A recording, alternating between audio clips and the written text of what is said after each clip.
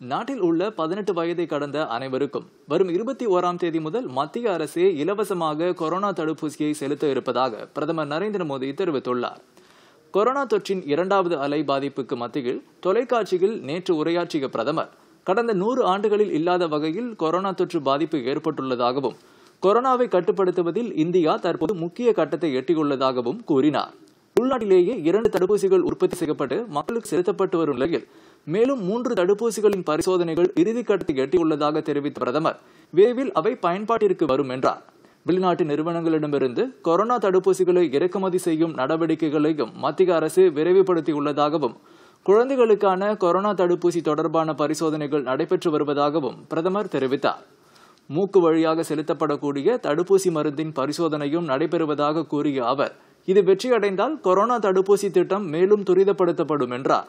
தடுப்பூசி உற்பத்தி செய்யும் நிறுவனங்களிடமிருந்து எழுபத்தி ஐந்து சதவீத தடுப்பூசிகளை மத்திய அரசே கொள்முதல் செய்ய முடிவெடுக்கப்பட்டுள்ளது ஐந்து சதவீத தடுப்பூசிகளை உற்பத்தி நிறுவனங்களிடமிருந்து கொள்முதல் செய்வதற்கு தொடர்ந்து அனுமதி அளிக்கப்படுவதாக அவர் கூறினார்.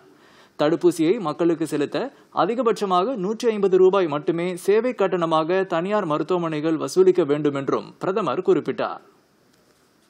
அனைத்து மாநிலங்களிலும் பதினெட்டு வயதுக்கு மேற்பட்ட வயதுடைய அனைத்து குடிமக்களுக்கும் பாரத அரசு மாநிலங்களுக்கு இலவசமாக தடுப்பூசியை அளிக்கும்.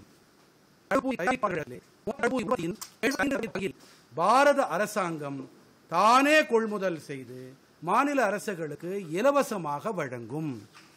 அதாவது தேசத்தின் எந்த ஒரு மாநில அரசுக்கும் தடுப்பூசி தொடர்பான எந்த ஒரு செலவையும் ஏற்க தேவை இருக்காது.